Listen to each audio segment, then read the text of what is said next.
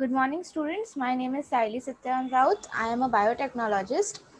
Today I am going to teach respiration. This chapter is from 12th biology textbook.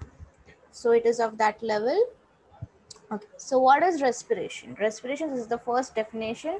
Respiration is a biochemical process of oxidation of organic compounds in an orderly manner for liberation of chemical energy in the form of ATP. It's not that complicated. What it is, it is a biochemical process. It means there is a chemistry as well as biology involved in this. So chemistry means there comes a chemical reaction. So this is the reaction that is 6C, is C6H12O6 that is glucose and oxygen are combined together to form carbon dioxide, water and ATP. So this is the chemical reaction and this reaction is carried out by the biological bodies, the living organism. That's why it is a biochemical process. So basically or in very lame language or simple language, respiration is a exchange of gases. When we will inhale air, take in oxygen and give out carbon dioxide. This is respiration. And the site where the respiration occurs, for example, in humans, the respiration occurs in the lungs. So the site of gaseous exchange is called the respiratory surface. So for humans, the respiratory surface are their lungs okay? Now there are some characteristics of this respiratory surface. We cannot say any organ as a respiratory surface okay? Lungs are specifically made for respiration only. Heart cannot do that function. Kidney cannot do that functions. Only lungs can. So why only lungs can do so in case of plants leaves are responsible for respiration so why only leaves why not roots or why not stem so there are characteristics which make that organ the respiratory surface. So what are those characteristics? It should consist of a large surface area.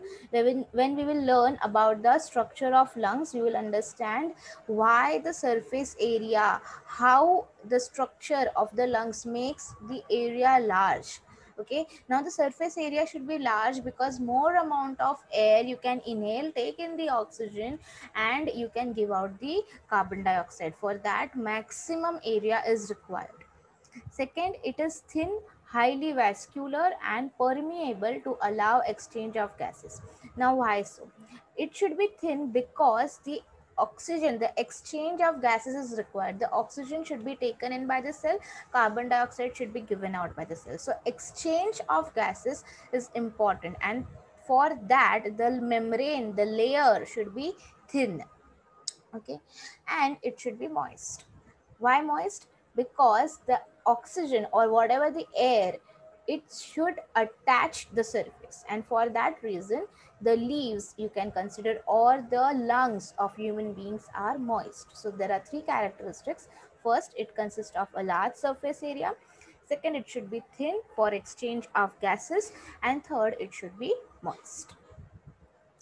So this is this is about the gases exchange in plants. It occurs on the leaves and in the leaves there are special organs or I can say the special structure which is called as stomata as you can see in this diagram. Through this they inhale.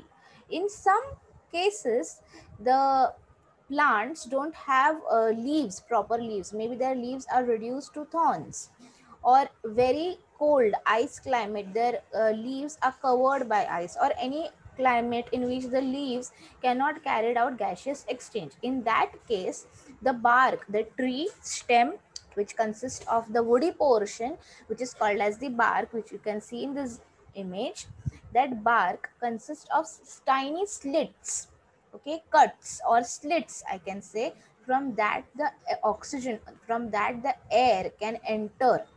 So those slits which you can see, the cuts which you can see right now, is called as lenticels. So this is about the plants. This chapter is more about the human respiratory system. So I will talk about that. Now starting with the human respiratory system, it consists of, it starts from nose, pharynx, larynx, then comes here a trachea, bronchi, lungs, alveoli, and then a diaphragm.